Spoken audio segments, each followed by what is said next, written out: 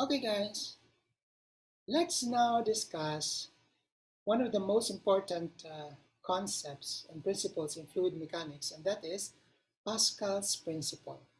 So according to Pascal's principle, in an enclosed fluid, the change of pressure is transmitted throughout that enclosed fluid.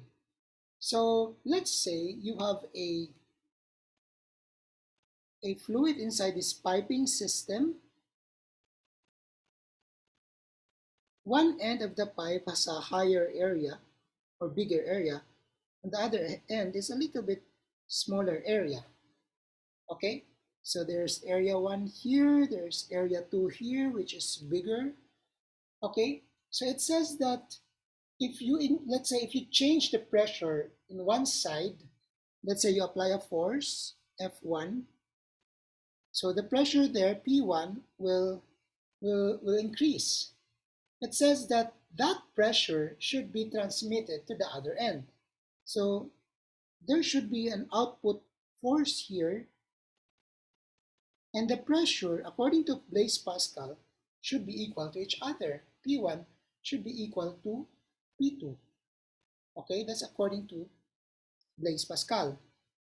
So P2 should be equal to P1.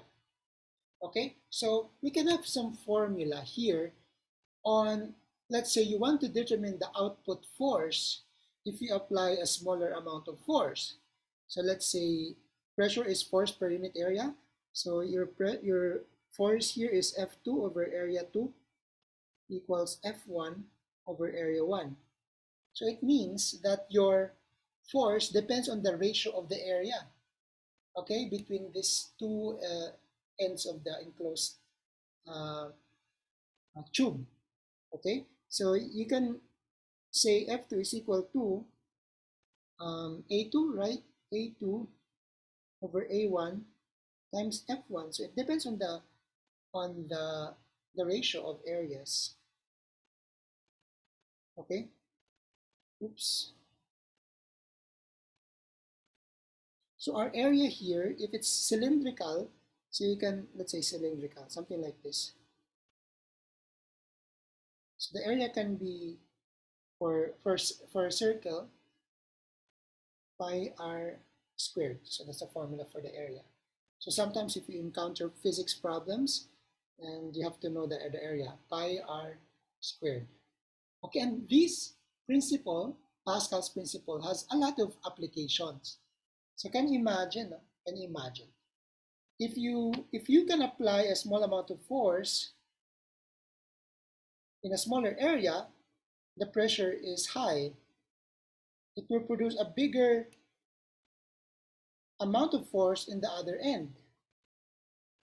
Okay, and this is one of the most important application in uh, of Blaise Pascal's uh, the principle is you can actually lift a car using your small amount of force.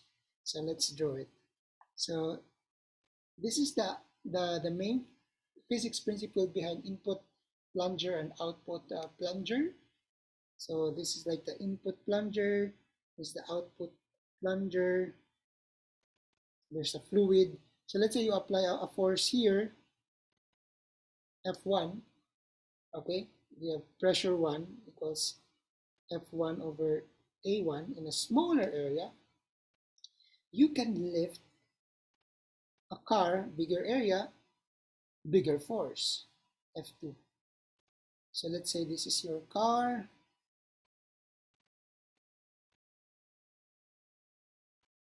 That is real. That is physics. You can actually lift a car using if you apply Pascal's principle. And of course, you have to have the, the fluid here. So this is a fluid enclosed, so there should be no leakage or whatever. Okay, so let us uh, show some uh, simulations from PhET here.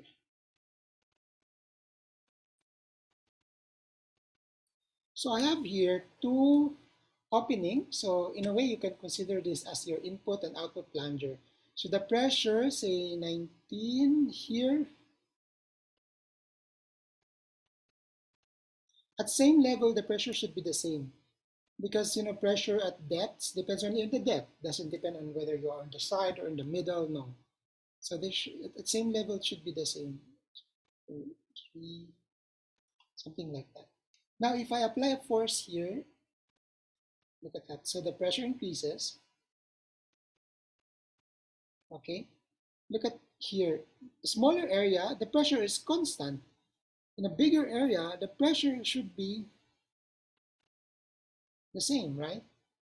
But the forces are different. The force here is smaller, the force here is bigger. The area here is smaller, the area here is bigger. So these can, can lift heavier object. Okay, so this is like your input-output plunger. So amazing, right? So this is one of the application of Pascal's principles. Okay, so next topic, I think we, we, we can discuss Archimedes' principle. See you in the next video.